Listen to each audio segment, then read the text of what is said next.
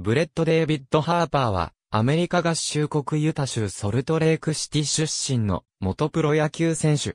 実父は、ミネソタツインズの捕手として活躍し、1991年のワールドシリーズ制覇に貢献したブライアン・ハーパー。2000年の MLB ドラフト会議において、ニューヨークメッツに45巡目で指名され、入団。メジャーリーグ経験はなく、マイナーリーグ通算802試合出場で122本塁打を放った。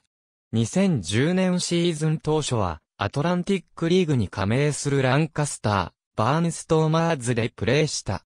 5月16日からオークランドアスレチックス参加 3A のサクラメントリバーキャッツでプレーしていたが、6月3日に解雇された。横浜時代2010年6月14日の15日にかけて横浜ベイスターズの入団試験を受け合格。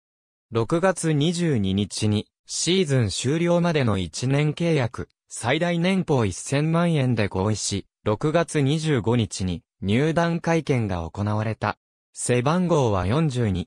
加入後すぐに打線の中核を担い、7月18日の対、読売ジャイアンツ戦では、マーク・クルーンから劇的な右腰逆転サヨナラ満塁本塁打を放った。一塁守備で足を引っ張る場面はあったものの、一時は4割を超える打率を残すなど、主に3番打者で起用され打撃で、チームに大きく貢献した。一定の数字を残したこともあり、シーズン終了後に年俸3000万円の1年契約で横浜と再契約を結んだ。2011年は開幕から打線の中軸として期待され、5番一塁手で先発出場。5月11日の巨人戦で沢村拓一から決勝本塁打を放ったが徐々に不調に入り、この年に途中加入した中村則弘と併用されることが多くなった。8月下旬からは若手企業の方針から代打での出場が多くなった。9月24日に降格すると、早々とシーズンを終えてアメリカに帰国。結局打率こそ一定の成績を残したものの、肝心の本塁打は9本と期待された。長打力を発揮できず、11月25日に来期契約を結ばないことが発表され、11月30日に自由契約公示された。2012年はメキシカンリーグのモンクローバスティーラーズと契約。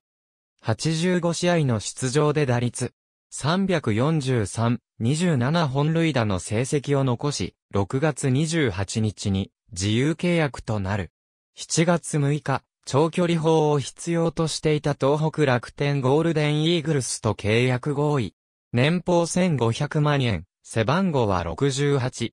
しかし、打率1割台と、低迷、19試合で、本塁打0と、全くの期待外れに終わり、11月21日、自由契約となった。